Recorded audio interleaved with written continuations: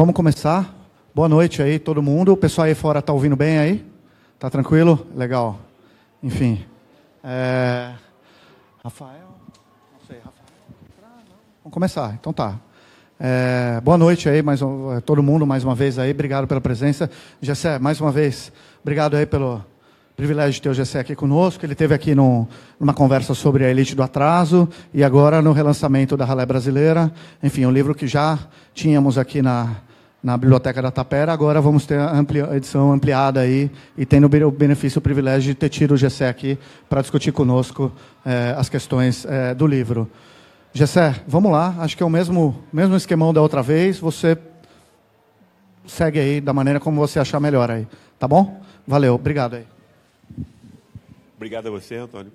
Obrigadíssimo a, quer dizer, a vocês que encontraram tempo e ocasião para vir até aqui. Eu fico muito contente, agradeço muito. É... E, enfim, eu estou muito contente com o relançamento desse livro. Ficou lindo, né? A capa, né? Hein? Não é? Dizer, um editor aí como Rafael Balinha é uma coisa. Né? e, no fundo, quer dizer, eu vou contar um pouquinho a história desse livro, mas não muito, não vou me estender é, nisso, para que a gente fique, para que a gente faça aqui um bate-papo, né? Que é a coisa muito mais agradável, muito mais importante, inclusive para mim mesmo, né?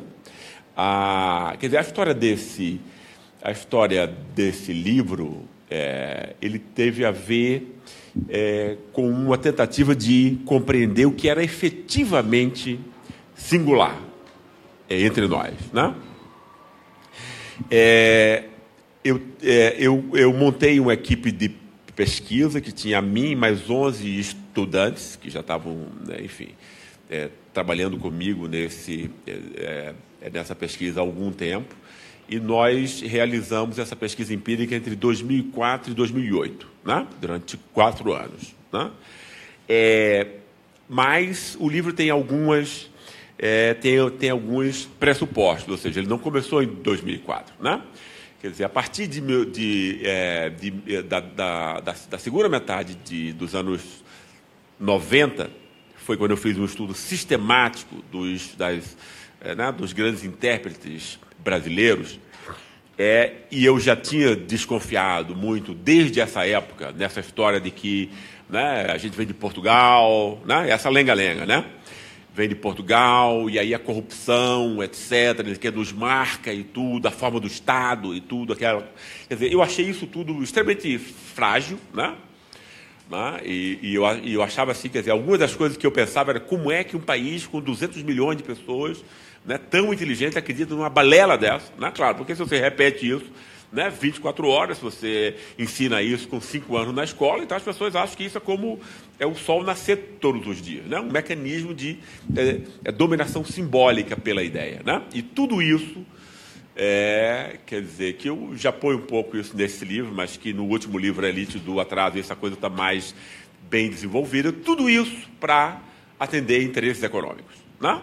As ideias né, sendo construídas para atender interesses econômicos de uma pequena elite. Né? É, e, e, esse é o destino das ideias, né? quando elas não são criticadas. Né? É, e o que essas, o que essas ideias diziam, no fundo, elas montavam o quê? Elas montavam uma, uma autocompreensão, quer dizer, que eu chamei é, no último livro de, um, de uma compreensão vira-lata, ou seja, né? quer dizer, um povo rebaixado, né? um povo sem autoconfiança, sem, auto, sem autoestima, animalizado. Né? A ideia é, que eu havia compreendido é, nessa época, né? quer dizer, de que existem hierarquias morais né? no mundo, é, que quer a gente tenha consciência delas ou não, né? e elas são tanto mais fortes quanto menos consciência a gente tem dela, obviamente, porque se a gente tem consciência de alguma coisa, né? A gente pode criar defesas em relação a isso. Né? Obviamente. Isso não significa que essas ideias também não nos, não nos influenciem. Né? Nós todos somos é, constrangidos por ideias que são sociais, né? não tem nenhuma ideia individual. Né? Isso, é uma, isso, é uma, isso é uma ilusão. né? é uma ilusão objetiva, como diria Marx. Né? Seja, nós todos estamos sujeitos a ela, mas isso é uma ilusão, é uma mentira. Né? Não existe nenhuma ideia que seja individual, não existe nenhuma moralidade, nenhum sentimento que seja individual. Isso tudo é socialmente produzido. Né? E é claro que existem é, é, é, modos diferentes de os indivíduos se relacionarem com essas ideias e com essa moralidade, mas ela está em nós todos. Né? Por exemplo, nós todos somos racistas. Óbvio. Não? Entende? A única, a única diferença que existe entre os seres humanos é que quem tem, quem, quem tem o cuidado de controlar o racismo que está presente nós todos. Porque o racismo ele é uma, ele é uma, ele é uma ideia social. Ele está presente em cada um de nós. Né? A gente não pode escolher não ser. O que a gente pode escolher é, eu vou escolher ter, uma, ter um controle, uma vigilância né, diuturna e completa, quer dizer, o mais completa possível em relação a isso. É a única coisa que os indivíduos podem fazer e faz uma diferença enorme, né? obviamente. Separa o canalha né, do ser humano é, é decente, não é isso? É, e essa hierarquia que separa as classes entre superiores e inferiores, mulher, homem, etc, etc, e as culturas também, entre culturas superiores do espírito e culturas inferiores do corpo, né? eu tinha percebido que nós, que os nossos pensadores, né, haviam nos representado como é, culturas do corpo, ou seja, da animalidade, né? que se opõe ao divino, ao, a tudo que é superior e nobre, que está associado ao espírito. Né? Eu não vou entrar nessa história, vocês vão é, poder ler isso é, com vagar, mas esse era o ponto, para mim, que era o mais importante. Ou seja, é, eu, não, eu não achava razoável né, é, compreender o Brasil a partir desses esquemas, todos eles envenenados, né? seja, nos pondo como é, pessoas, é, é, o homem cordial, o homem das emoções, etc. E essa, bo e essa bobageira toda, não é isso? Que nós todos acreditamos nela, em alguma medida, a gente tem que ser muito vigilante para que isso não, né? para que isso não, não venha nos dominar, não é isso? E que esse homem emocional é tendencialmente corrupto, né? E que essa corrupção está no Estado, ou seja, para os donos, de, de, quer dizer, para essa ínfima elite financeira, né, mesquinha que nós temos é, é, a melhor das interpretações. Claro, olha, o mal está em outro lugar e tal, para eu posso assaltar aqui via dívida pública, via juros, isenção fiscal e tal, para ninguém vai nem notar isso, né? O mercado é o, é o reino do empreendedorismo, do trabalho duro, da honestidade, etc, etc. Não é isso? Né? O mal está em outro lugar, longe de mim, que eu sou um santo, não é isso? É isso que o, é isso que o mercado e os, né? É, e isso, isso é a compreensão dominante que os brasileiros têm de si mesmos. Né? É isso que é reverberado na imprensa, né? é isso que é ensinado nas escolas, e é isso que é ensinado a, a todas as elites em todas as universidades. Né? E essa seria, inclusive, a singularidade social, moral e política nossa e tal. Né? Eu, obviamente, achava que isso era um absurdo, essa ideia foi. É, é, é, enfim, eu fui montando crítica a isso no decorrer é, da minha carreira, mas é, é, é ao mesmo tempo que, que eu estava criticando isso, né? outra questão é, é, estava é, na minha cabeça. Que crítica é essa ideia? A mais, a mais elaborada que eu fiz foi no livro A Construção Social da Subcidadania, né? Que é um livro que vai ser também reeditado em breve. Né? É, mas a minha, a, a, a, o que estava na minha cabeça era: se essa interpretação é falha, né, a gente tem que ter outra interpretação. Né? A construção da subsidiarania era uma resposta a isso. Agora, ao mesmo tempo, ter uma resposta só, só abstrata a isso, no nível das ideias, não me, não me bastava. Eu, eu queria dizer, eu, isso vai ter que ser mostrado né, no nível concreto, empírico, ou seja, você precisa mostrar que as pessoas são guiadas efetivamente, não por essa balela de, de emocionalidade, etc, etc, mas por, por é, pelas hierarquias morais que o capitalismo cria. O capitalismo não é só troca de mercadorias, nem fluxo de capitais. Né? Que é como o capitalismo é, até hoje, compreendido por todo mundo. Né? Entende? Ou seja, é, esse tipo de cegueira, é claro que a nossa cegueira é maior, porque ela nos nos rebaixa, né? Diz, olha, você é um animal, né? emotivo, não sei o quê, é, ladrão, etc, etc. Isso foi montado, imagina isso, né? pelos nossos pensadores e tal, né? O que é uma coisa absurda, isso é um crime, né? É, é, e ao mesmo tempo, obrigado, hein, meu querido? Obrigado, não. Mas aí a questão é, se o Brasil não é assim, o que é o Brasil? Claro, né? Se não é o que esses pensadores clássicos dizem, que diabo ele é? Não é isso? Claro. Você precisa, quer dizer, a crítica não, não pode não pode apenas criticar, desconstruir, ela tem que construir o outro. Né? Se não é assim, o que ele é? Né? Quer dizer, e foi aí que eu, que eu então desenvolvi essa ideia, na construção da subcidadania, que foi o que vai ser um pressuposto para o que está dito aqui. Né? Que é a noção de é, o capitalismo tem uma hierarquia moral, né? e ela é atuante na Alemanha, na França, nos Estados Unidos, do mesmo modo em que ela é atuante no México, no Brasil, no Uruguai, no Paraguai, etc, etc. Né? Esse era o primeiro ponto. Né? É, explicitar que hierarquia moral é essa, que nos constrange a todos. Né? E que serve para invisibilizar, invisibilizar os processos de é, dominação entre as classes no capitalismo. Né?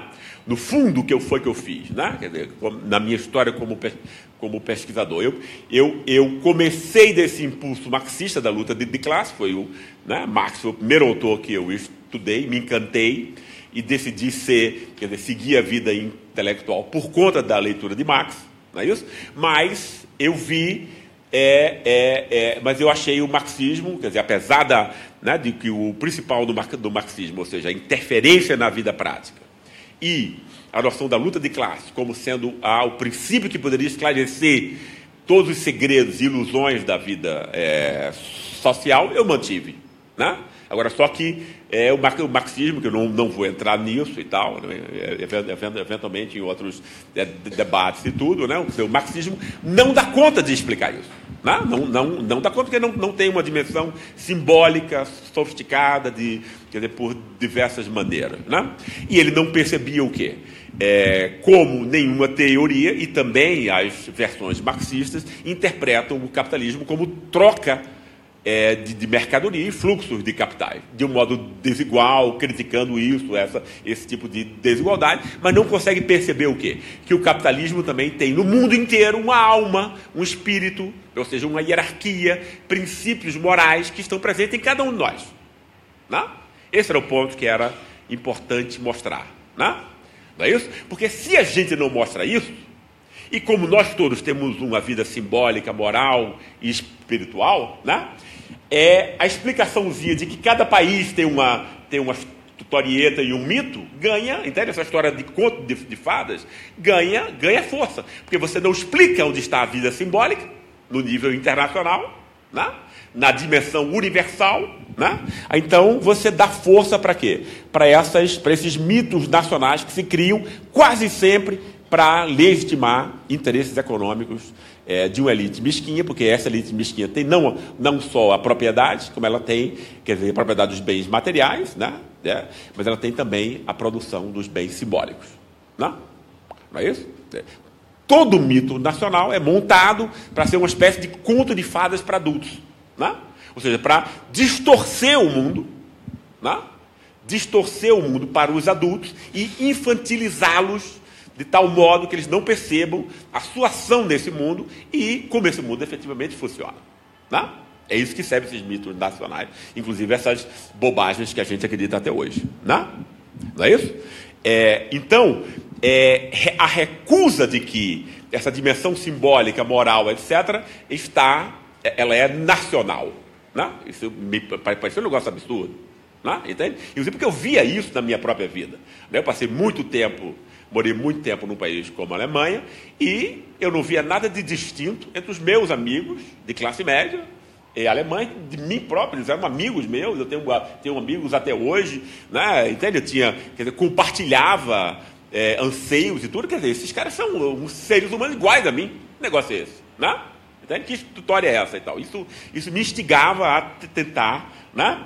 Reconstruir esse tipo de coisa. Quer dizer, se o cara é igual a mim, quer dizer, é uma besteira você ficar é, criando aqui separações artificiais a partir dessa, né, o que eu empiricamente via é, na vida cotidiana, no caso. Né? Agora, claro que é um, um esforço muito, muito, muito, muito, muito maior você reconstruir isso. Né? E a partir disso, foram que os, os autores neo-hegelianos, neo-hegelianos por quê? Porque Hegel vai ser o primeiro cara né, que vai tentar montar o quê? Explicitar que a vida moral, né, né, é, os estímulos morais são extremamente importantes para a compreensão da conduta concreta de cada um de nós. Né? E não, como a gente tende a pensar no capitalismo, os, os estímulos econômicos, ou os estímulos de poder, os estímulos empíricos, né? Quer dizer, poder e economia, né? Poder e dinheiro, no caso, né? É, mas, no capitalismo, a gente só vê dinheiro e poder. Esse é o ponto. Né? Entende? A gente sente, sente, cada um de nós sentimos emoções morais, não é isso? Quem é, quem é aqui que não sente culpa, remorso, vergonha, não é isso? Sentimentos morais. Não tem a ver com dinheiro e poder. Não? Certo? Agora, a gente não sabe de onde vem isso. Não? Por que se sente culpa, vergonha, remorso, etc, etc. Não? Pode até matar um, não? mas você, você não sabe de onde vem. Não? Isso, isso é também construção so social, não é isso? Então você tem que reconstruir essa hierarquia que é invisível, inarticulada, digamos assim. Né? A gente sente, a gente age a partir desses impulsos, mas a gente não, não os tem refletidos. Né? Não é isso? E aí eu comecei esses estudos e no A Construção da Subcidadania, eu montei o quê? É a, quer dizer, usei que alguns desses filósofos, especialmente o Charles Taylor, que é um canadense, né? Dizer, que eu uso é, o cara de um modo completamente distinto do que ele próprio se, se, se usa, ou que os outros pensadores o leem. É, são, é, ele é lido como um relativista do multiculturalismo. Eu acho exatamente o contrário, que ele é um, um ótimo universalista, etc. Enfim, isso é uma outra questão. Né? E ele explicita o quê? Essa hierarquia do Ocidente como tendo duas fontes. Não é três, não é quatro, não é cinco, duas fontes. Facilmente comprovadas empiricamente. Né? Ou seja, nós todos nos comportamos moralmente a partir de duas noções de virtude, duas fontes da moralidade. Né? Duas, duas fontes que não, não nasceram das nuvens. Não, não, quer dizer, não caiu como um tijolo na, na cabeça, você saiu dizendo que existem essas duas fontes, e não, não nenhuma outra. Construções históricas. Né? Construções históricas da, do Ocidente, que está sempre baseado na grande instituição do Ocidente, que é a Igreja Cristã. Né? Tudo que a gente é, conhece hoje vem, de alguma maneira, né, de uma secularização do cristianismo, inclusive o Estado moderno, vem da noção de igreja, igreja cristã. O que foi que aconteceu no cristianismo? O cristianismo queria duas ideias. Né? É, é, é, é, de virtude, ou seja, de bem, né? que vai ser o quê? Que vai ser a noção do próprio sagrado no cristianismo, ou seja, a, a definição de quem é salvo, o caminho da salvação. Né? Ela vai estar montada precisamente nesse controle do espírito sobre o corpo. Por, é por isso que o corpo é o pecado, é o pecaminoso, é o vergonhoso, é o lixo, etc. Né? Como os nossos e aí, e aí, e aí, e aí imagina, os nossos pensadores nos imaginavam como pecaminoso, o lixo, o animal, etc, etc. Né? É, o espírito ele pode se apresentar de duas maneiras né? controlando o corpo. Né? De uma maneira como trabalho produtivo, isso, isso, estava desde o começo do cristianismo. É claro que a partir do século XVI, com a reforma protestante, isso vai ser completamente, isso vai se tornar um centro, né? mas isso já tinha antes, né? O trabalho. Né? É a reforma protestante que vai transformar o trabalho na coisa principal de todos os seres humanos. Não era assim antes. Né? No mundo antigo, o trabalho era coisa de escravo né? gente inferior. Né? Não é isso? Quem é, quem é gente superior e nobre é o ócio. Né? Entende? Né? Quer dizer, quem trabalha é, é, é inferior. Animais, escravos, etc, etc. O protestantismo remodela isso, diz que o trabalho é o caminho para servir a Deus. Né? Transforma a, a, o que você faz no seu trabalho cotidiano, né? como sendo a matéria-prima para definir se você vai ser salvo ou não. Ou seja, sacraliza o trabalho. O trabalho é sagrado pela primeira vez na história. Né? né? Ao contrário de ser coisa de escravo, né? ele define a relação de divindade, de sacralidade, etc. etc. Né? Isso vai fazer com o, o, o quê? Que a primeira fonte do que a gente considera virtude seja é é o trabalho, né? ou seja, e o, e, o, e o produtor útil, a noção de produtor útil. Né? Ok? Essa noção de produtor útil, né? pode ir? Essa noção de produtor útil vai ser é, uma dessas é, fontes da moralidade. A segunda vai ser a noção de quê? Vai ser a noção de sensibilidade expressiva ou estética, digamos assim, né? que não se constrói no século XVI, ele vai ser um pouco mais tarde, se constrói a partir do século XVIII, como oposição à, à ideia materialista e produtivista é, do capitalismo. Né? Quer dizer, essa ideia vai ser montada em quê? Se você tem, por um lado, a ideia de que a virtude é definida pelo produtor útil, ou seja, alguém que contribui para o bem comum, que é isso que é, o protestantismo vai definir, e aí, depois que isso se transforma em, em, em prática institucional, né? Você não precisa mais ter, protesta, ter revolução protestante nos outros lugares, porque a fábrica capitalista já é em si uma revolução protestante. Não, não precisa mais ter, ter revolução protestante para disciplinar, para ter autocontrole. A fábrica faz, faz para você, que é uma bobagem, então, portanto, você ficar dizendo que os países que têm o estoque da cultura protestante é superior por conta disso. Entendem a, bo, é, é, a bobagem, embora toda toda a sociologia mundial seja hoje baseada em cima desse, desse racismo, que ninguém nunca critica. Né? Mas é como se fosse uma base, ou seja, os países de herança protestante, superiores, e os países de herança católica e de outras coisas inferiores. Isso é uma bobagem. Né? Uma bobagem. Né? Porque tudo que o protestantismo fez está implícito na fábrica. A fábrica reproduz o protestantismo, né? que é a noção de cálculo prospectivo, disciplina, autocontrole, etc. Né? A outra noção de virtude que vai nos definir a nós todos é a nossa, noção do ser humano expressivo né? digamos, do homem e da mulher sensível. Né? O, que é, o que é isso? É uma, é uma definição que não vai ser mais posta na, no, na noção do que é virtude, não no trabalho, mas exatamente na descoberta daquilo, o contrário, na descoberta de sentimentos e emoções que nos tornam humanos e que não são dados, não é um dado, mas é alguma coisa que cada ser humano tem que ir atrás né, para descobrir quem ele é. Né? Ou seja, hoje em dia é uma noção que nós todos nascemos com ela, entende? Mas ela tem idade. Nenhuma ideia nasce, ou é natural como nascer do sol. Tem uma história. Foi construído antes do século XVIII. Não existia essa ideia. Né? Ok?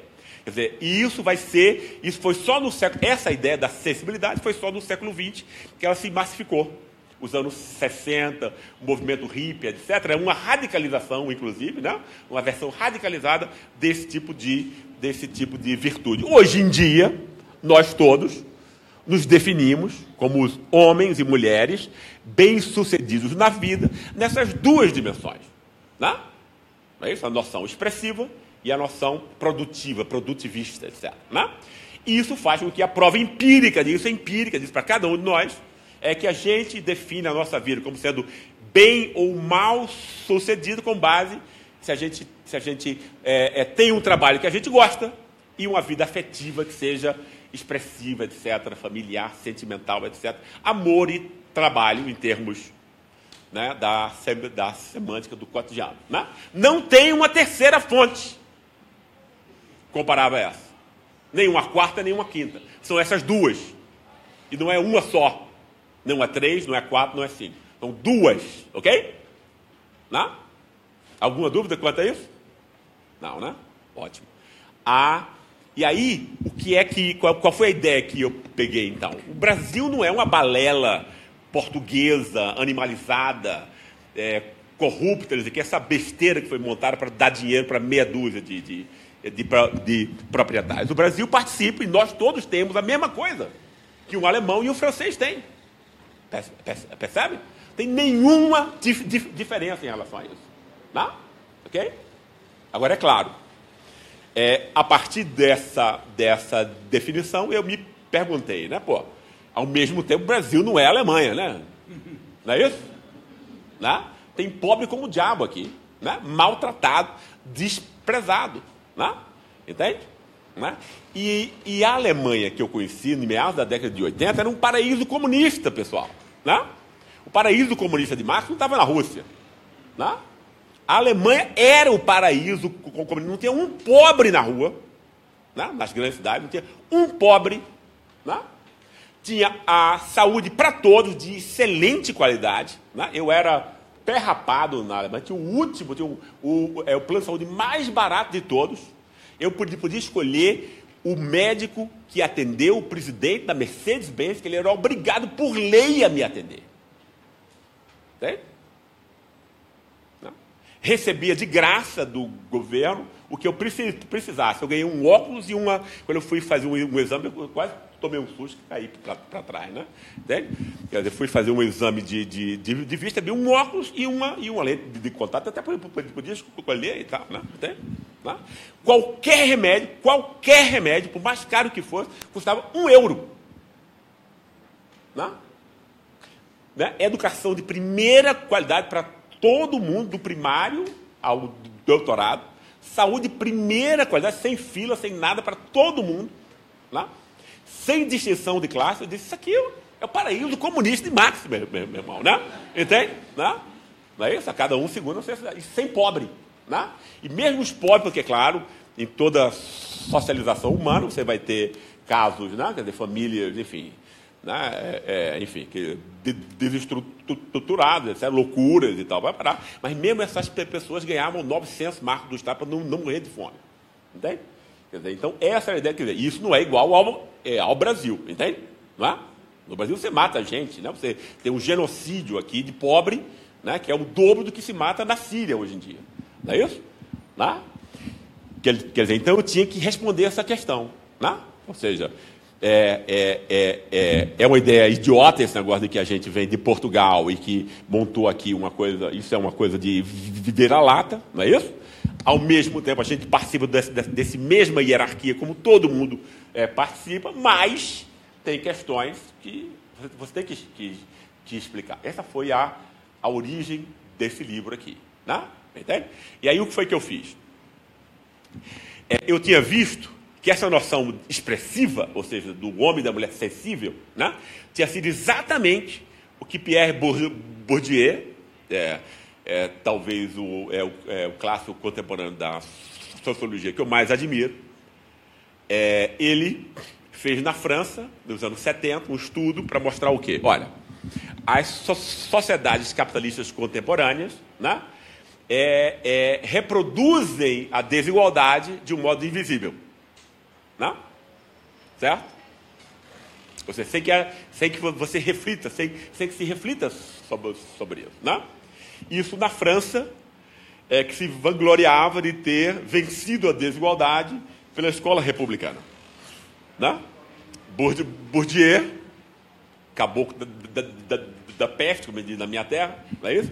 Ele vai se, ele vai criticar exatamente isso, a escola republicana francesa, e aí pegou também a, a sociedade francesa como um todo para mostrar o quê? Igualdade nada. Essa coisa, né, existem relações invisíveis baseadas nessas hierarquias morais, né, que vão montar redes também invisíveis de solidariedade de classe entre os semelhantes e de ódio e desprezo de classe contra os outros. Não? Entende? Ou seja, não se percebe que está fazendo isso, então você faz ainda de bom, de boa consciência, o que é extremamente importante, porque justifica e legitima é, a dominação. Né? Então ele pegou o quê? Ele pegou essa noção da expressividade. Né? Ele pegou essa noção da expressividade como? A partir da noção, é, é, a noção do gosto estético. Né? Não é isso? Ele poderia ter a partir de uma outra, de uma outra ideia, mas enfim, é uma ideia muito interessante também. Né? Então, o gosto estético, fato de você. E aí você monta, monta um estilo de vida, o gosto estético, né? Entendeu? O, o, jeito, o, jeito, o, jeito, o jeito que você anda, você fala, a roupa que você veste, não é isso? O jeito que você fala, a bebida que você toma, como você toma a bebida, não é isso? O que você come, como você come, tudo isso são sinais que nós todos de modo irrefletido, né? Entende? avaliamos em cada um uns dos outros e definimos né? A classe que é, opa, essa aqui, esse aqui eu posso até casar. Né? Entende? Ou então, é, esse aqui pode ser meu, meu amigo, etc. Eu posso fazer coisas com ele. Esse aqui eu quero, vou até mudar de rua. E são cálculos que a gente faz, cada um de nós faz o tempo inteiro. Né? Mas é, nunca é consciente. Nunca é refletido. E como, e como, esse, e como todo tipo de, desse, desse tipo de avaliação moral pré-reflexiva, ela é ainda mais importante, mais eficaz, exatamente porque a gente não reflete sobre ela. Né? Aí o que foi que eu fiz? É, ele pegou, ele tomou a França e a noção da expressividade. Tudo bem? A noção de expressividade é, como sendo esse elemento na França, por quê? Porque ele achava que a classe trabalhadora era o, era o, era o pilar de baixo da sociedade, e era. Não? Quer dizer, e é. Não? Entende? Quer dizer, não tinha ninguém abaixo da classe trabalhadora. Né? Então, esses mecanismos de é, identificação a partir do gosto estético funcionavam para quê?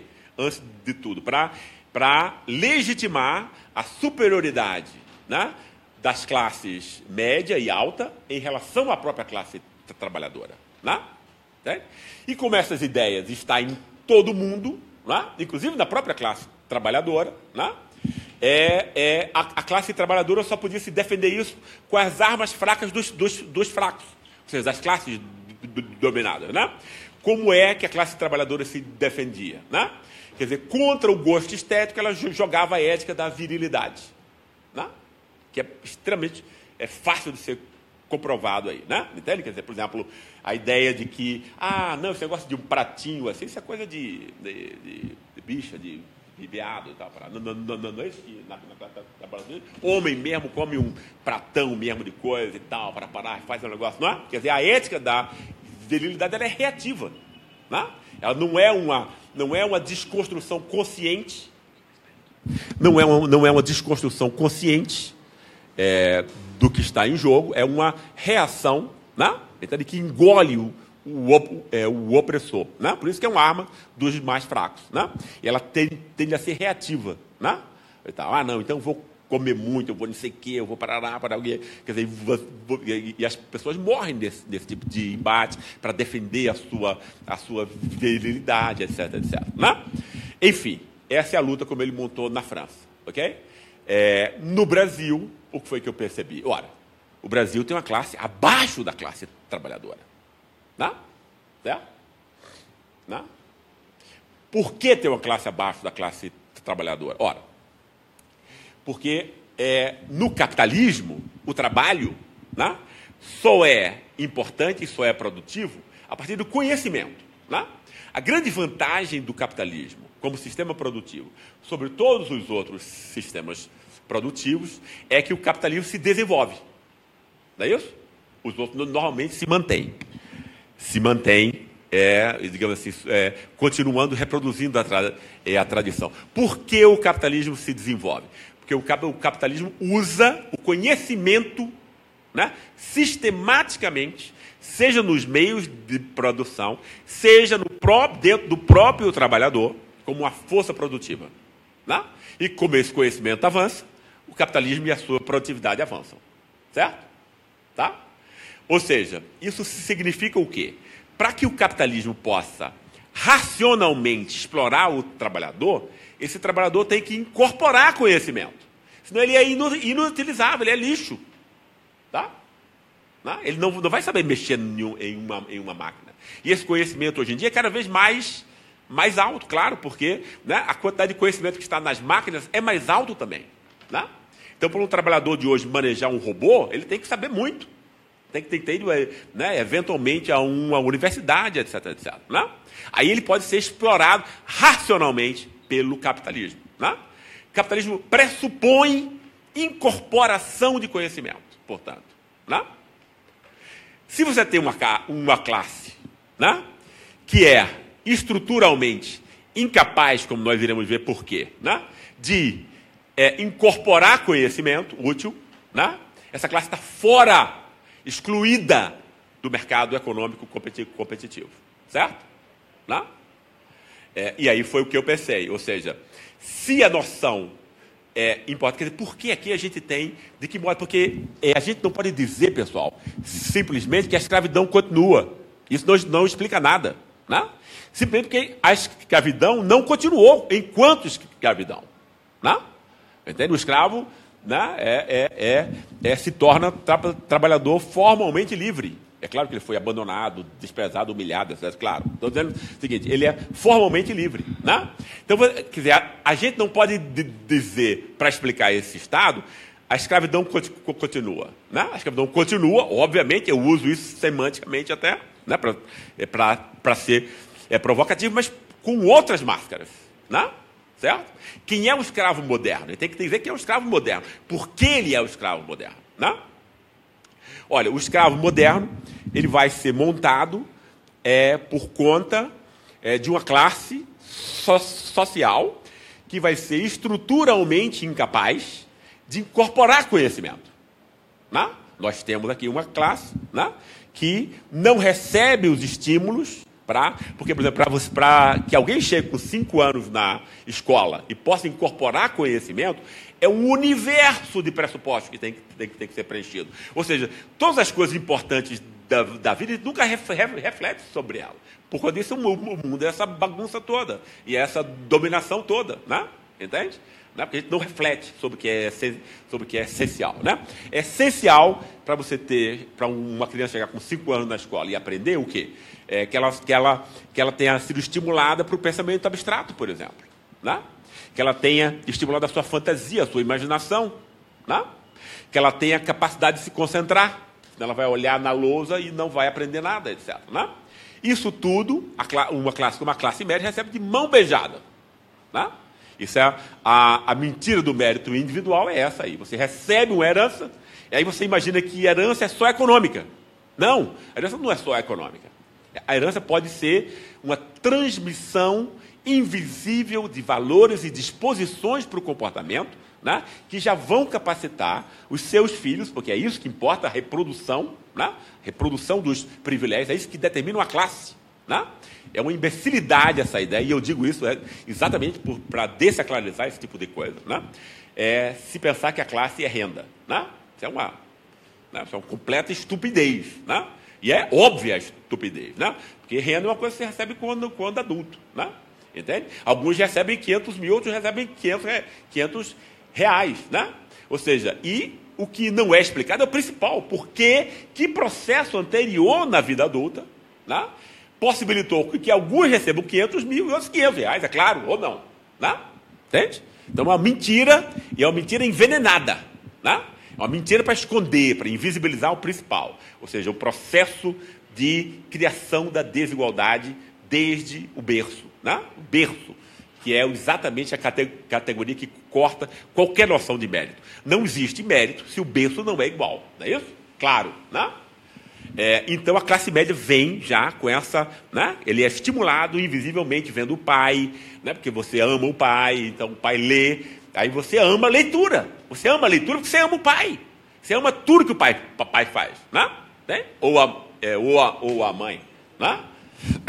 E, e enquanto filho do pedreiro, ele vai brincar não com livros ou olhar o pai vendo ele vai brincar com o carrinho de mão do pai pedreiro e ele vai se identificar afetivamente né, com o pai que é pedreiro e trabalhador desqualificado ele vai emocionalmente né, amar fazer aquilo porque ele ama o pai percebe assim que os seres humanos são construídos e montados né? não é isso os estímulos são muito distintos a vida já está pré-definida nesses primeiros anos de idade. Não é isso? A mentira do mundo é invisibilizar isso. Né? A partir dessa nossa, nossa abertura de mérito, etc, etc. Né? A, a, se, se existe uma classe que já chega com cinco anos como perdedora, porque ela não foi estimulada para isso, porque o pai e a mãe também não tiveram escola e não desenvolveram as habilidades. É para isso ninguém pode passar o que não tem. Não é isso? E, e, e, essa classe vai sair como analfabeta funcional, não é isso? Mesmo que, que ela tenha escola, não é? não é isso? Ela não vai o quê? Ela não vai poder entrar no mercado competitivo. E vender o seu conhecimento incorporado, porque ela não incorporou de modo expressivo e significativo nenhum conhecimento útil para a produção do capitalismo. Ok? Não é isso? Não? Se você não incorporou conhecimento, que é isso que o capitalismo precisa, não? você vai vender o quê? Não? Vai vender o quê? Você vai vender seu, seu corpo, sua energia muscular, que era o que os escravos vendiam, que é o que os animais, entre aspas, vendem. Certo? Não? Deve ser animalizado. E você vai ser utilizado, claro que você vai, vai ser super explorado até, muito mais do que um trabalhador. Não é isso? Mas você vai ser explorado de um outro modo, você vai ser explorado como é, escravo é, doméstico ou de ganho, etc. Quer dizer, as mesmas coisas que a, que a, que a, que a gente tinha antes, operando agora por formas e estruturas modernas. Né? Qual foi a ideia que eu utilizei aí? Ora, é, se Bourdieu tinha utilizado a noção de gosto estético né, como o critério que vai construir relações de solidariedade, por um lado, e desprezo e humilhação, por outro, prático, cotidiano, né?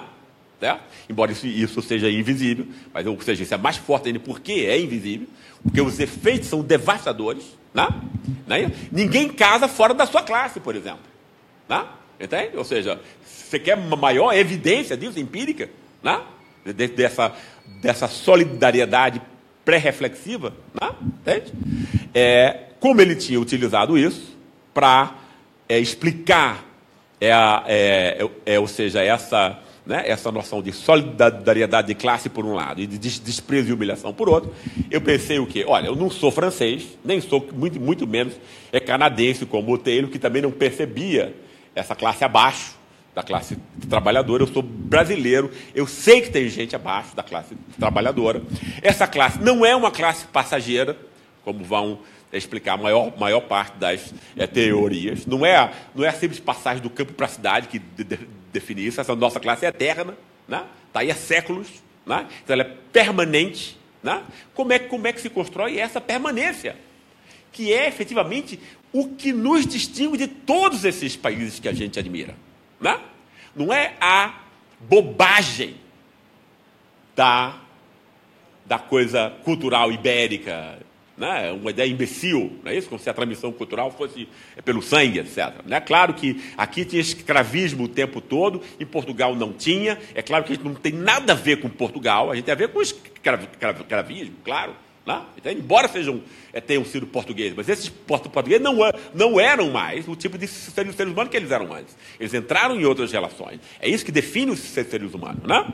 Não é uma, uma relação sanguínea como o, o DNA. Não é isso? A, a, então a ideia era o que é o que nos dá a singularidade é a existência dessa classe. Tudo que tem a ver com que nos distancia de, de Alemanha, França, etc., tem a ver com essa classe. Né? Era isso que, eu, que ele queria compreender e demonstrar. Não é isso? Né? Se Bourdieu havia demonstrado na França é, a eficácia prática cotidiana dessa, desse gosto estético, aí eu imaginei, por que eu não posso também, com um trabalho empírico, né? mostrar os efeitos. Porque se isso é invisível, você tem que mostrar na empiria, ou seja, no comportamento. Porque a pessoa não, não sabe. Então ela não, então ela não vai dizer. Não é isso? Quer dizer, e aí eu tive que aprender esse tipo de coisa, essas técnicas mais é, sofisticadas, porque normalmente as técnicas de pesquisa que são dominantes, seja no mercado, seja na academia, são imbecis. Né? Não servem para nada, não vale um tostão. Eu sei porque eu perdi anos da minha vida replicando essas coisas. Foi perder tempo e dinheiro, entende? Você não pode chegar e, e perguntar a alguém, meu negócio, você é racista? É claro que a, que a, pessoa vai dizer não, né? Claro. Não é isso? Né?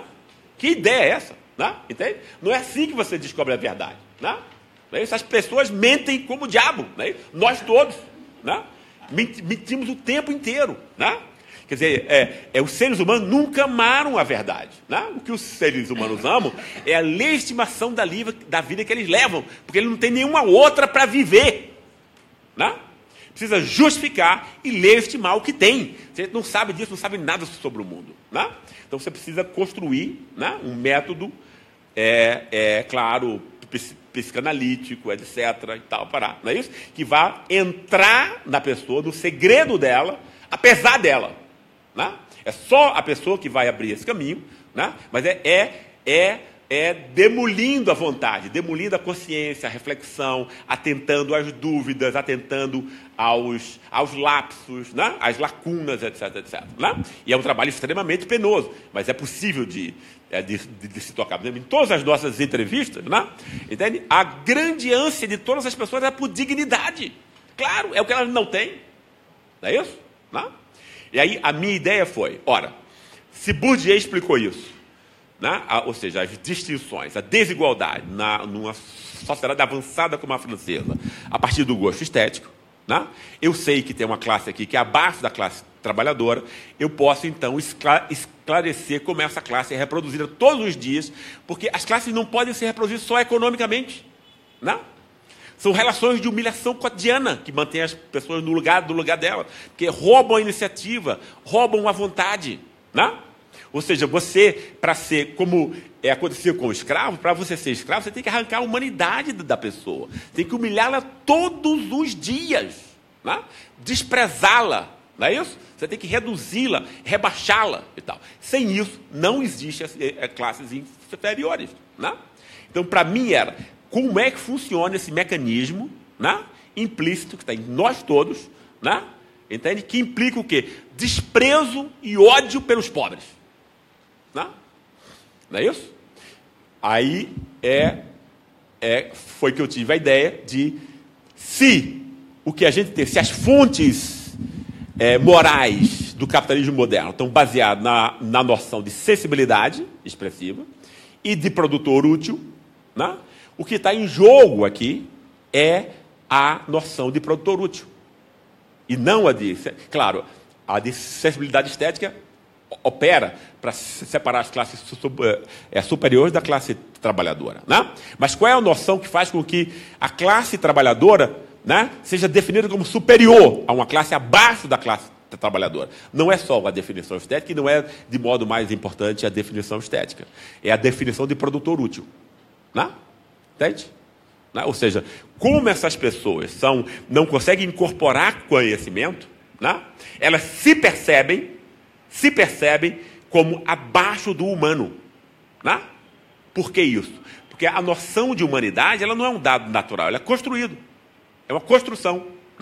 Se os outros nos veem como menos do que humano, a gente vai se ver obrigatoriamente como menos do que humano. Porque a ideia que a gente tem sobre nós mesmos é uma ideia dialógica, ela envolve a concepção do outro sobre a gente. Tá?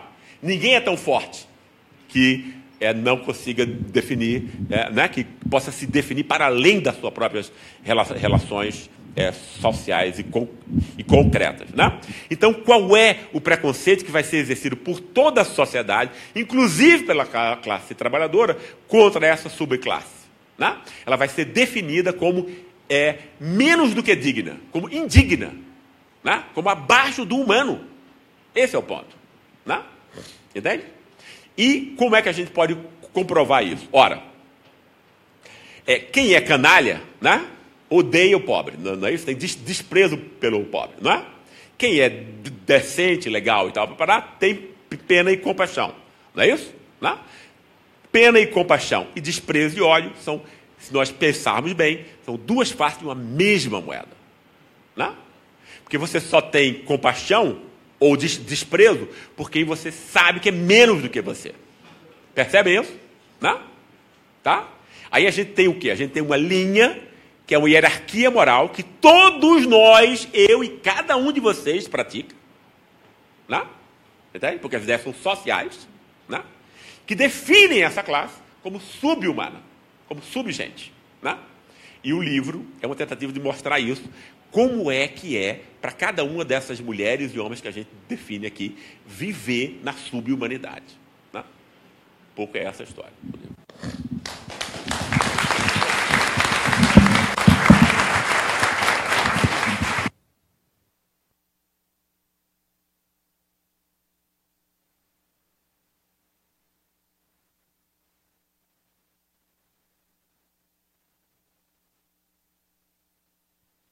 Alô.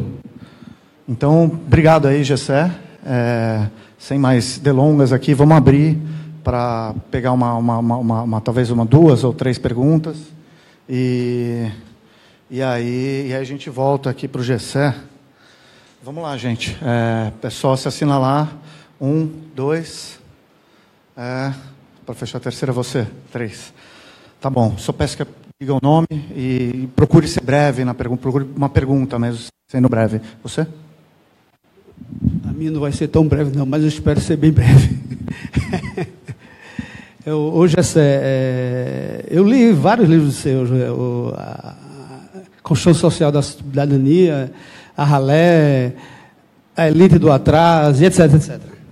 Mas, enfim, eu vejo que você faz essa abordagem toda, tentando, é, eu acho que de forma absolutamente, absolutamente correta, apesar de não ser da minha área de sociologia, sobre o, os nossos intelectuais, a construção da sociologia no Brasil. Ok, mas eu me pergunto, diante disso tudo, o que fazer? Não é porque aqui no Brasil nós temos eu acho que foi até no seu livro, em torno de 50% da população está abaixo dessa linha de dignidade. 75% da população está é, analfabeto funcional. E aí eu me pergunto, é, foi alguma estatística aí do, do IPEA, de algum pesquisador, mas enfim, né, a quantidade é enorme, né? E aí eu fico me perguntando, pô, diante do Brasil agora, eu vejo com esperança, claro, né? Eu quero chegar agora na, na, na questão da, da conjuntura, né?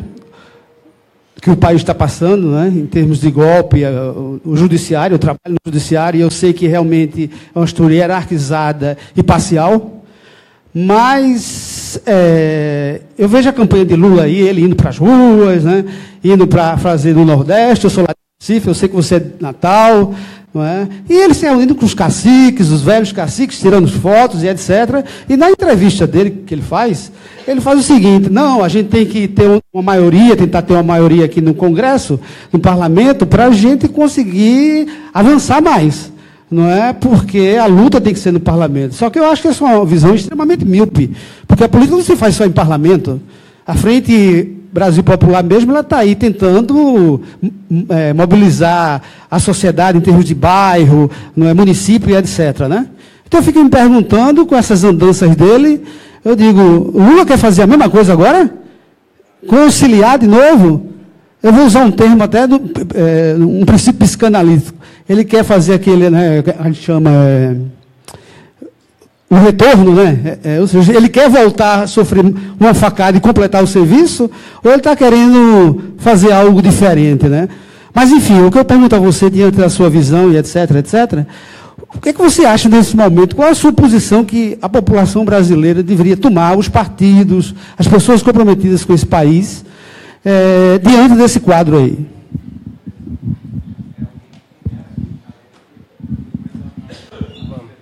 É, boa noite, professor. Meu nome é Alberto. É, a primeira pergunta, bem simples. É, Marx, quando analisa a, do, do Brumário na, na França, ele fala da classe trabalhadora. Eu não, não lembro exatamente se foi o Penzinato vem daí, ou era o Santo Culotre, faz muito tempo que li. Em que, que é diferente a ralé do Lupenzinato, em termos de estratificação social? E só para mencionar um pouco no, exercício analítico, proporções das classes do Brasil. Classe média, acho que era mais ou menos 20%, que estava na sua, na sua análise, dos batalhadores e da ralé. Só completa esse número para eu ajudar no raciocínio. Olá, boa noite. Eu sou Joyce. Eu sou artista. E a partir desse panorâmico, panorâmico histórico, social, como que, como que podemos é, quebrar, a partir da arte, de uma arte potente, encontrar um caminho ou uma visão onde a gente possa quebrar esses aguilhões de poder e ser novamente humanos, é, na potência do que a arte exige, na potência do que o humano exige, na potência do que podemos ser? Desculpe rapidamente, eu não disse nem meu nome, é Manuel e eu trabalho na área computação.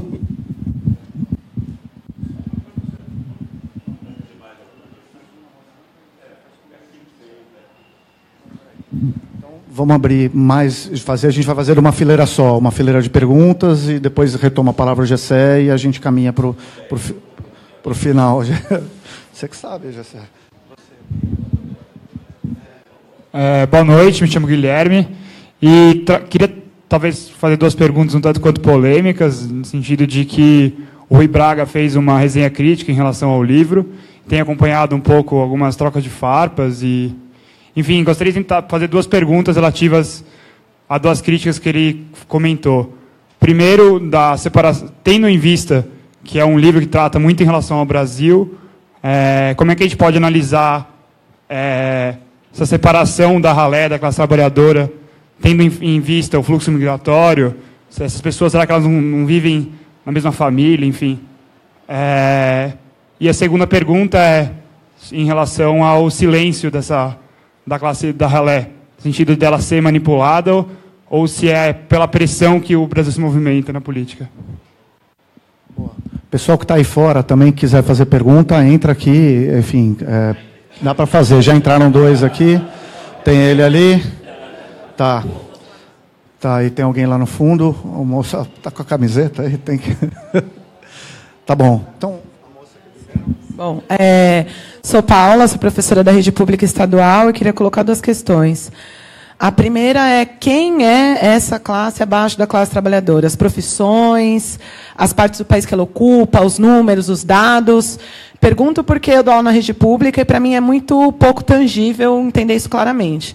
Segunda coisa é colocar, é, por exemplo, essa questão racial que se coloca, como essa área se enxerga, né? Porque muito está discutindo a questão racial. E uma coisa é a questão racial, e aí quando a gente compara por exemplo, com os países da Europa, com a questão anti-imigrante, e outra questão é a sociedade construída em base da escravidão. E toda a ideologia, porque a dominação não foi só física, foi psicológica, você dominar um povo, você tem que convencer que a sua religião é do diabo, que seu nariz é feio, que seu, seu, sua, sua pele é feia, que seu cabelo é feio, toda essa dominação social que a gente vê hoje e como isso faz parte da construção dessa ralé. E, por último, em cima da pergunta do moço ali, em relação ao PT, né? agora eu vi uma figura do PT aqui, interessante até esse processo. A minha família é da Teologia da Libertação, no movimento das ocupações de moradia na Brasilândia, e assim, é, e a minha experiência, a minha experiência de infância com o PT é essa, e a minha experiência atual com o PT, eu sou professora da rede pública, sou dirigida pela POSP, pela, que, que, que é a articulação sindical, que é um sindicato profundamente burocrático, organiza derrota em cima de derrota da classe trabalhadora, que não tem base, que tem uma política várias vezes de direita, que para discutir a questão das mulheres, eu tive que ouvir da, da presidente do sindicato que não podíamos exigir creche e lavanderia pública, porque a professora tinha que ganhar bem para ter a sua doméstica em casa, como era antigamente. E a gente sabe qual é a cor da doméstica e como ela né, aparece. Então, eu queria colocar esse questionamento, o PT é alternativa, como, quando, se nos movimentos sociais e sindicais tem uma política de derrotar diretamente a classe trabalhadora para se manter no poder, derrotar a vanguarda de luta, derrotar quem se organiza politicamente, desde os movimentos de base político, para se manter no Estado e ter a divisão dos poderes aí junto com o setor mais reaça da burguesia. Boa noite, meu nome é Ricardo, minha formação é História. Eu acompanhei esse primeiro livro teu com um enorme interesse. Eh, a gente parou para debater, montou grupo de estudo. Ele abre uma linha teórica absolutamente interessante. Assim, não li os outros livros, mas me surpreendeu um pouquinho você ter, eh, nos livros seguintes, de certa forma, se afastado dessa discussão mais estrutural e ter focado numa visão um pouco conjuntural, né? Falar de lava-jato, falar do momento imediato que a gente está vivendo. Acho que perde-se a oportunidade nessa sequência tua de aprofundar essa primeira ideia, que eu acho que é brilhante, e a gente cai de novo numa discussão conjuntural. Eu, como todos que estão aqui, estou bastante preocupado com a conjuntura. Eu acho que o Dom Sebastião não vai voltar. Não acho que adianta ficar andando pelo sertão. E eu gostaria de saber qual é né, um governo maravilhoso, que, que fique claro, mas que não está na hora de voltar, que anda para trás é caranguejo, certo? Então, qual é a perspectiva que você vê na conjuntura brasileira hoje para um avanço em termos políticos? Você, depois ela, e a gente volta para o GCR. Boa noite a todos, meu nome é Jefferson. Boa noite, Gessé. Gessé já me conhece, estou te perseguindo. É, opa, tem, literalmente vestindo a camisa, né? É, esse livro, eu eu me eu estou me vendo nele. Eu, eu, eu fiz parte da ralé. Eu antes de morar em São Paulo, eu morava em Santos, no Mangue, né? Num barraco, né? Isso antes do PT. Então, estou vendo muita gente brava com o PT aí, mas se ele não tivesse existido, eu não estaria aqui hoje, né? A minha esposa é filha de empregada doméstica. A, a, minha, a minha esposa é filha de empregada doméstica, já está terminando a segunda universidade dela, está no último ano de psicologia, já é formada em, em administração. Então, para quem acha que não mudou, mudou muita coisa e vai mudar muito mais. Entendeu? então, já essa é a pergunta. É, eu hoje não moro num condomínio, né? Você vê como é complicado, né? Estranho. Eu saí de um barraco no meio da favela, hoje eu moro num apartamento de 700 mil reais, num condomínio onde você tem médico, engenheiro, advogado, aquela classe média, né? E eu sinto um pouco de desprezo, porque eu nunca escondi de ninguém de onde eu vim. Né? E eu sinto o olhar diferente quando eu vou conversar sobre algum assunto. Né? Então, eu queria que você me explicasse um pouco. É, eu já li o seu livro, A Elite, entendi um pouco, mas eu queria escutar de você um pouco mais sobre esse desprezo né, que, que eu sinto. Obrigado.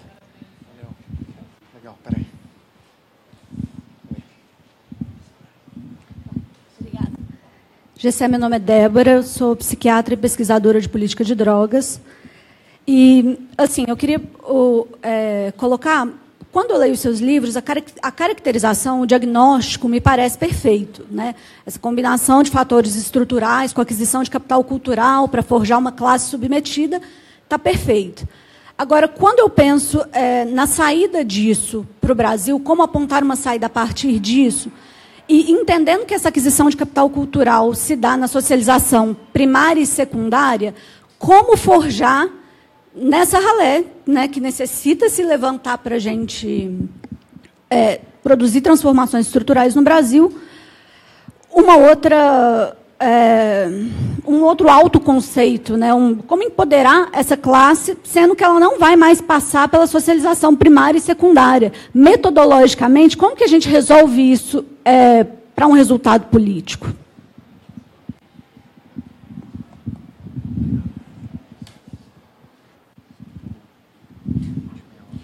Tá, tá. Pessoal, muitíssimo obrigado pelas questões. Vamos lá. É sempre a questão o que fazer, eu acho muita graça e tal, né? Porque né? a, a, é, é, é o que fazer, veja bem, eu, eu, eu é, é, é, é uma questão que envolve o quê? Envolve uma noção aonde, aonde, aonde a gente imagina o quê? É o sujeito que Descartes inventou, né? Ou seja, que o ser humano é uma cabeça e que as ideias estão aqui dentro, não é isso? É, é, é isso tudo que nós achamos. Isso era filosofia no século XVII e é senso comum hoje em dia.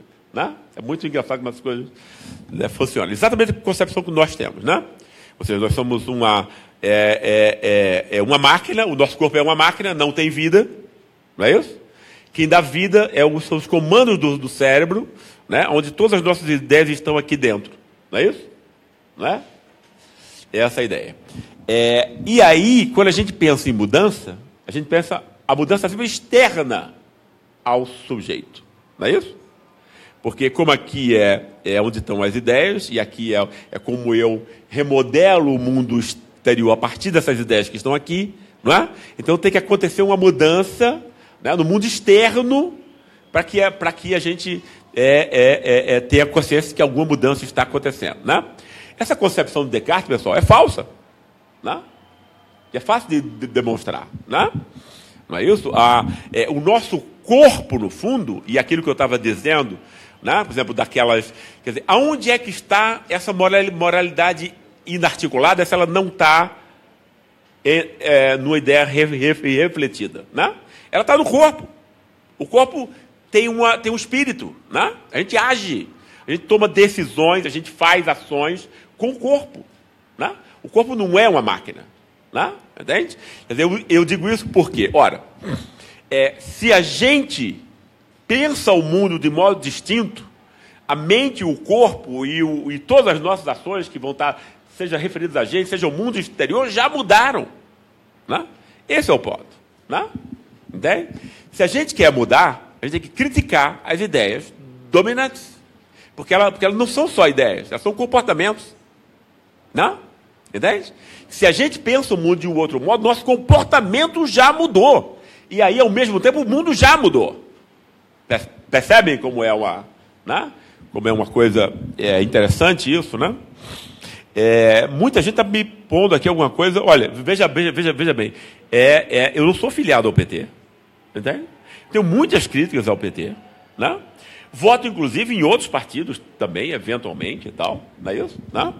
Quer dizer, então, não estou aqui respondendo pelo PT. Eu não sou deputado do PT, não sou, não sou político do PT e tal. Para. Então, obviamente, eu tenho admiração é, é, é, por coisas que o PT fez, ao mesmo tempo como eu tenho críticas ao PT. Entende isso? Né? A principal admiração que eu tenho é exatamente porque ninguém mexeu nessa classe em 500 anos, fora o PT. Entende? Que é o que aquele nosso amigo acabou de é, dizer com muita propriedade e tal. Entende? Isso eu acho admirável. Né? Entende? Então, quem é a posição política né, que se acha é melhor ou mais interessante, eu acho que pode, acho que tem, é possível, inclusive, porque essa coisa do parlamento e da sociedade é uma coisa muito interessante mesmo. O PT não tem uma narrativa política, né? não, não montou uma narrativa política, não tem uma noção de como conduzir é, politicamente a sociedade, não é isso?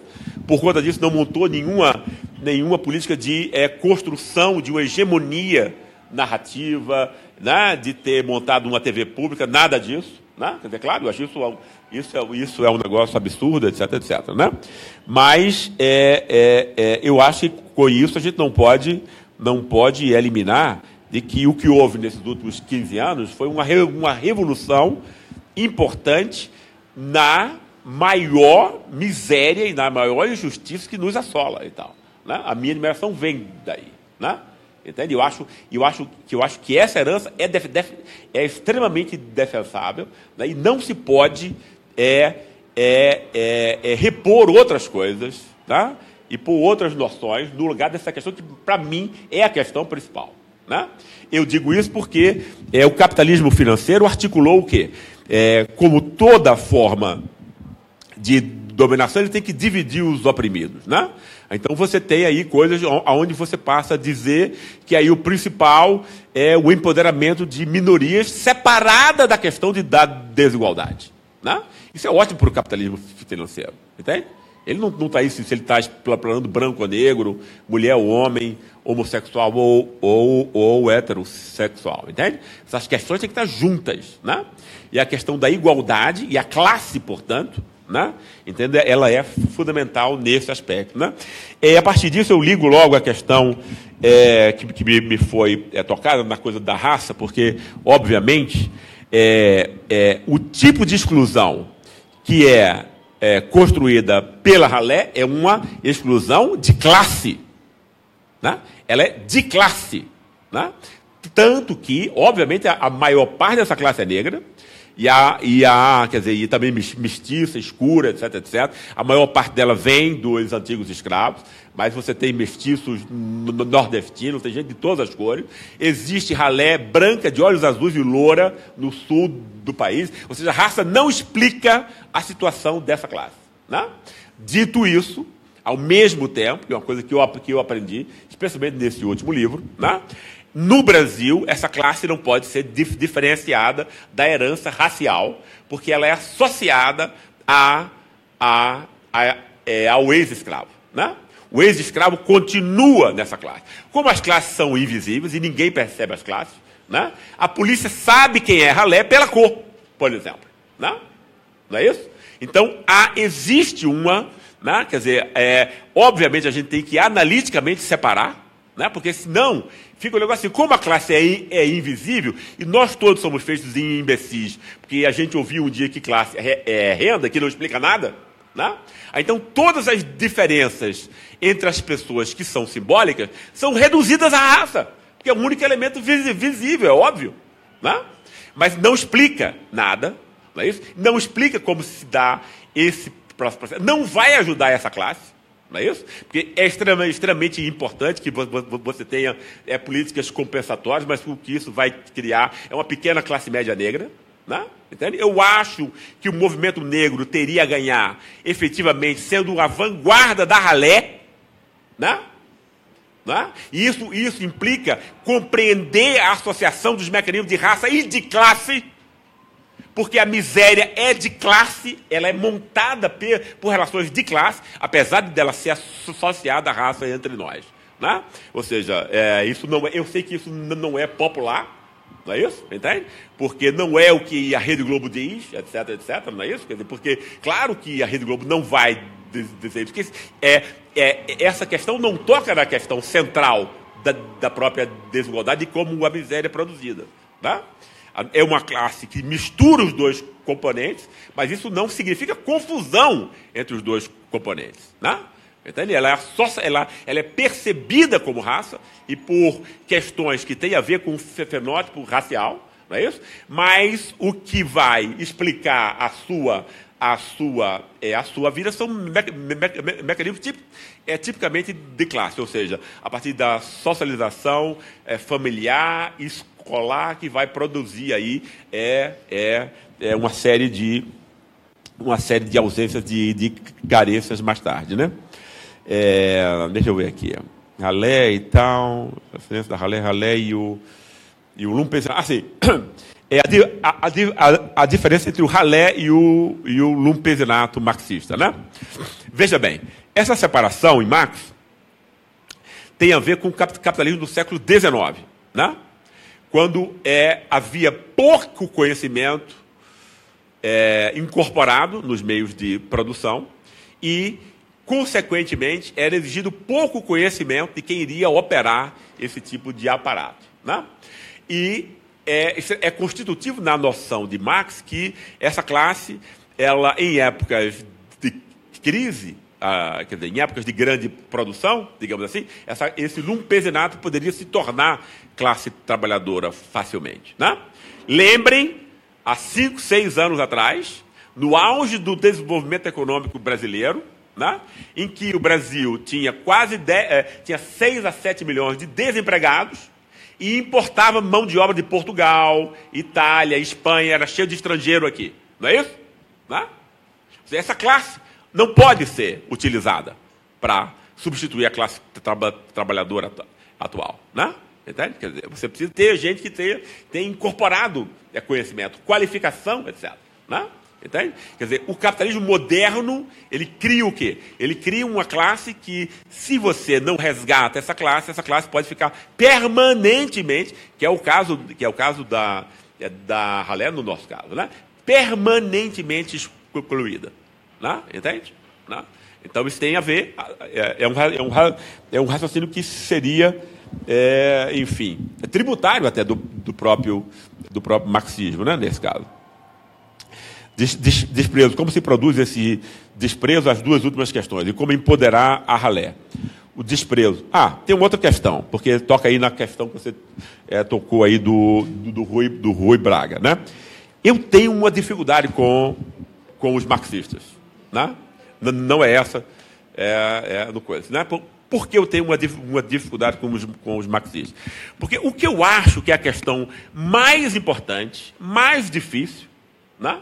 Que é a tal da consciência de classe, né? que é raríssima entre as classes oprimidas. São poucos instantes históricos. Né?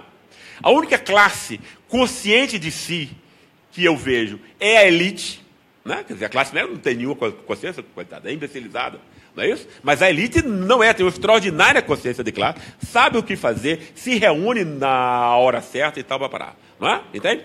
Mas o marxismo simplifica o mundo a tal ponto, quer dizer, marxismo não, marxistas, hoje marxistas, né? É, não é Marx, né? Simplifica, dizer, Marx também, mas enfim, é uma, é uma, é uma outra que- questão. Ele, ele bem menos do que os seus, os seus epígonos hoje em dia, né? É, o marxista de hoje, ele, ele pressupõe que que existe a consciência de classe. Entende, entende isso? Ou seja, que as classes oprimidas são sujeito da história, que elas compreendem o mundo, que elas vão fazer a mudança. É exatamente o que Rui, Rui, Rui Braga diz é, na crítica de, dele a mim. Entende? Né? Vem, quer dizer, que eu, que eu vejo essas classes como passivas, etc. Então, quer dizer, ótimo, né? Fica ótimo, fica fácil de você ser simpático com todas as pessoas, não é isso? Porque você está reproduzindo a glorificação do oprimido, que é o coração do cristianismo e da noção de compaixão e piedade cristã. Aí é covardia, amigão, né? Entende? Né? né? Dizer, se você quer, quer, é, é, é, quer a verdade, você está em maus lençóis aí, né? Entende? Porque todos os preconceitos do mundo e todos os sentimentos do mundo vão militar contra você. Né? Entende? Quer dizer, eu, quer dizer, eu, não, eu não acho isso. Eu não acho que as classes oprimidas tenham acesso é, é a consciência da sua situação. Né? Entende? Eu acho que em alguns raros instantes históricos ele, ela pode ter. Né? Entende? Não é isso? Mas é extremamente difícil, por razões óbvias. Né? Quer dizer, tudo milita contra, você tem é, toda é, a reflexão, o ensino, tudo que é dito em todos os jornais, é, televisão, etc., etc., para de tal modo para desempoderar essas classes. Né? É, não só isso, imagine bem. Dizer, a, é, a que é um ótimo exemplo disso, né? você tem o quê? Você tem uma classe que ela é cindida no, no meio, as fam, fam, famílias da Ralé são cindidas no meio, né? pela oposição entre o pobre honesto e o pobre de delinquente, que é, no caso do homem, o bandido, no caso da mulher, é a, é prostituta. Né?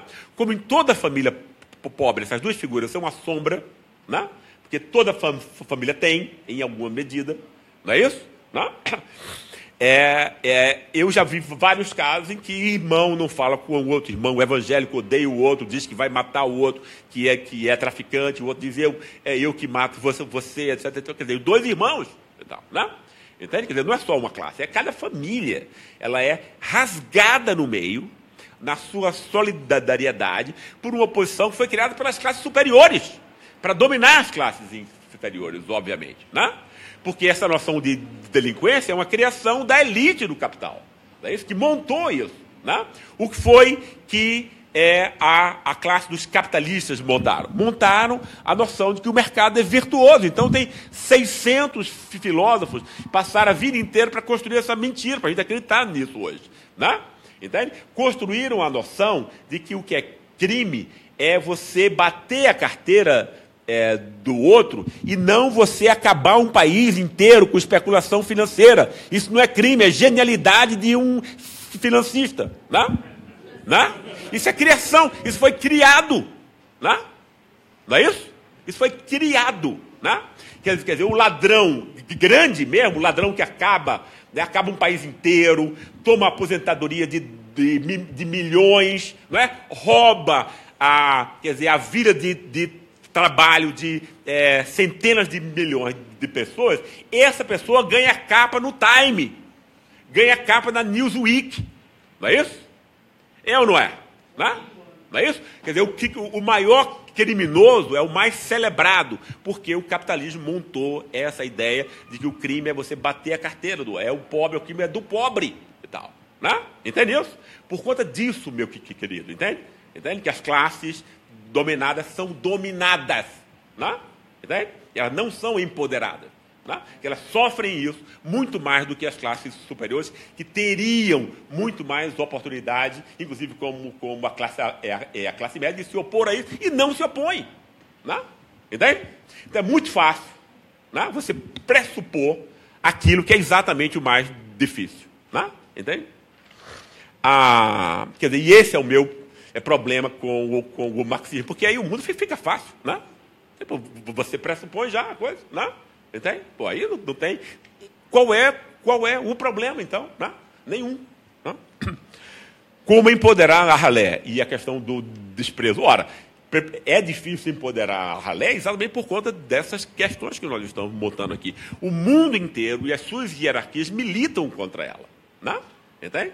Quer dizer, e não só essas que são é, consciente, conscientemente produzidas, como a gente estava vendo a própria noção de produtor útil com relação à qual nenhum de nós tem defesa. Né?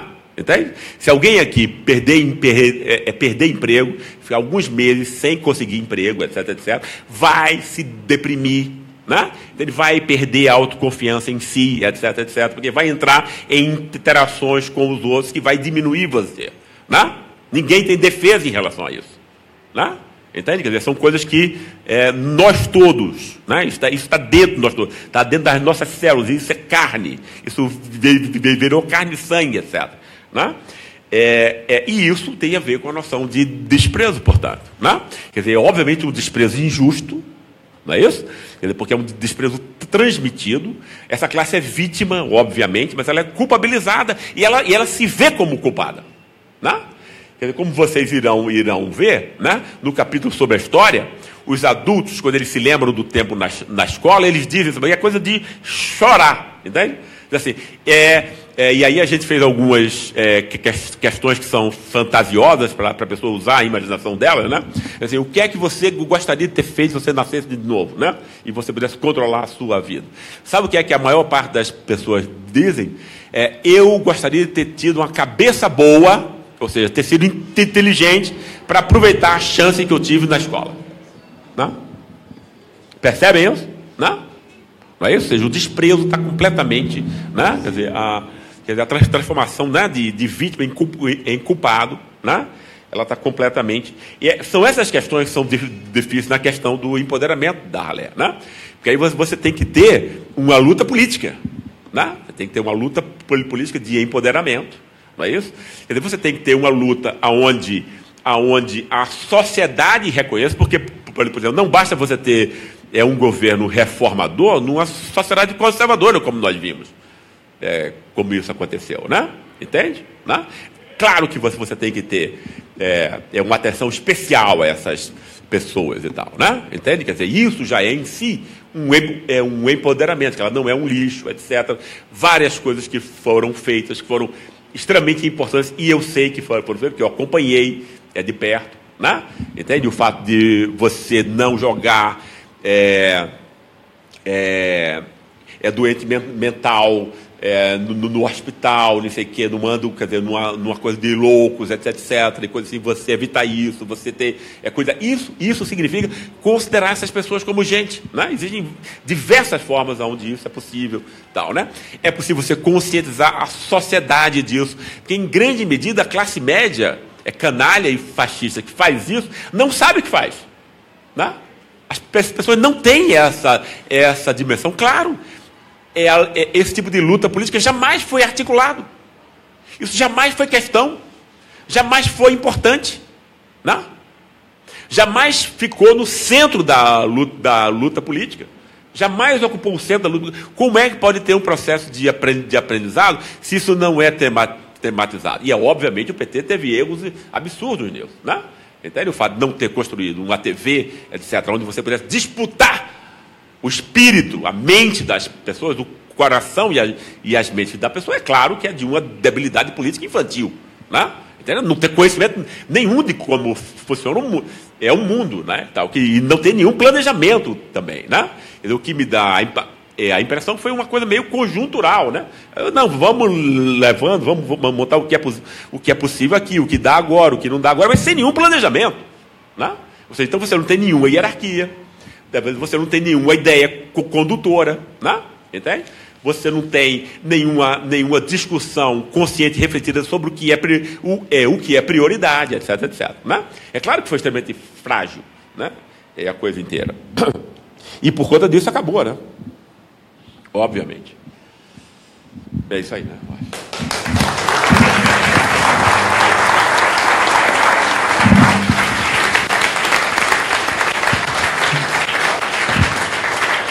Valeu, obrigado aí todo mundo, pessoal aí fora aí, tá? Desculpa aí os perrengues aqui dentro, o calor, a produção aqui, mas foi maravilhoso aí, obrigado a todo mundo aí. É, agora vocês podem ficar por aí, tem uns bares ao redor, o Metropole na frente com os drinks, o Mandíbula, a gente tem um botequinho aqui do lado também. Enfim, valeu aí, o, o Gessé vai, acho que vai assinar alguns livros aí, né, Gessé? Não sei como é que você está aí. Tá, à vontade, a gente vai montar um esqueminha, uma mesa aqui. E valeu, obrigado. Obrigado pessoal dos bares aí da vizinhança que nos, nos teve paciência conosco aí. Valeu.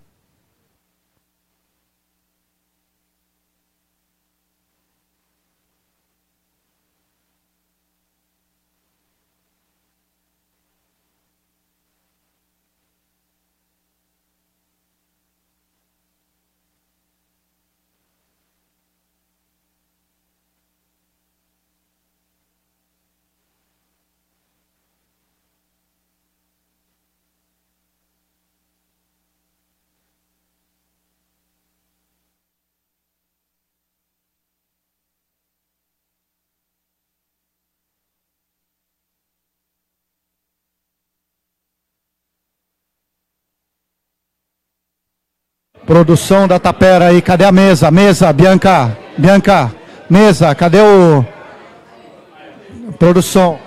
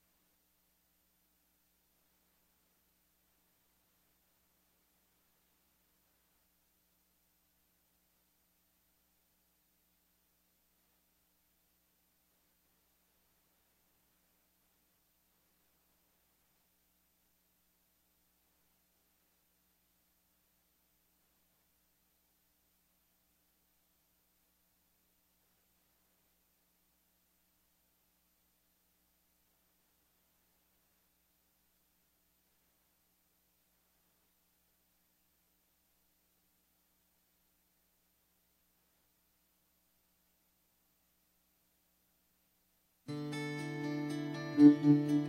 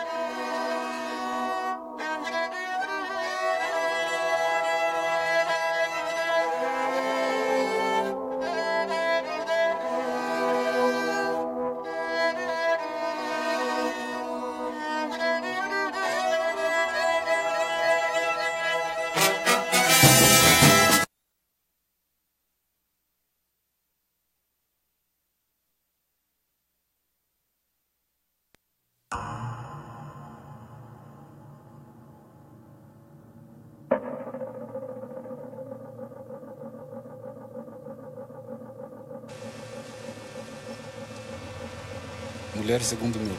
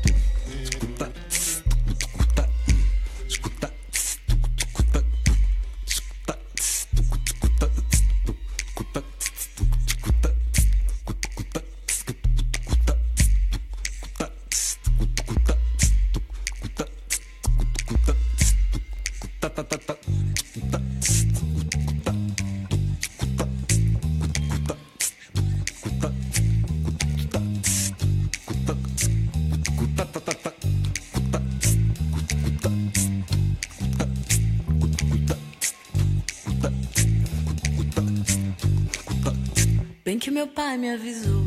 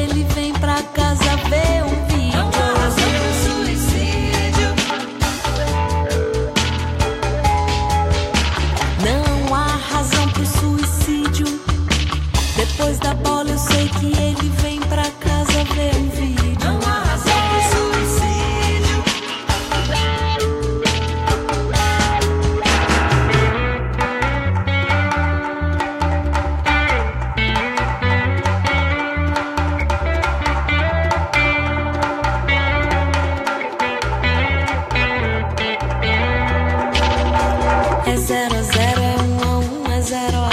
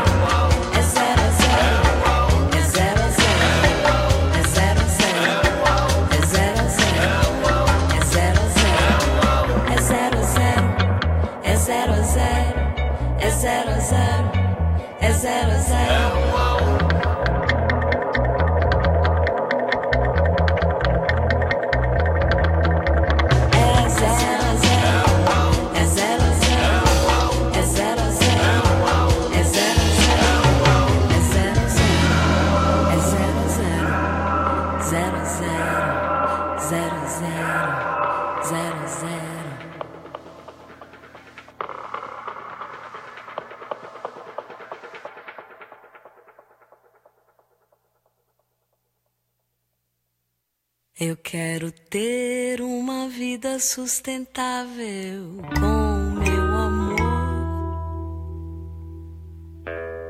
Ter um aquecedor solar para aplacar nossas angústias. E um jardim de chuva para escoar lágrimas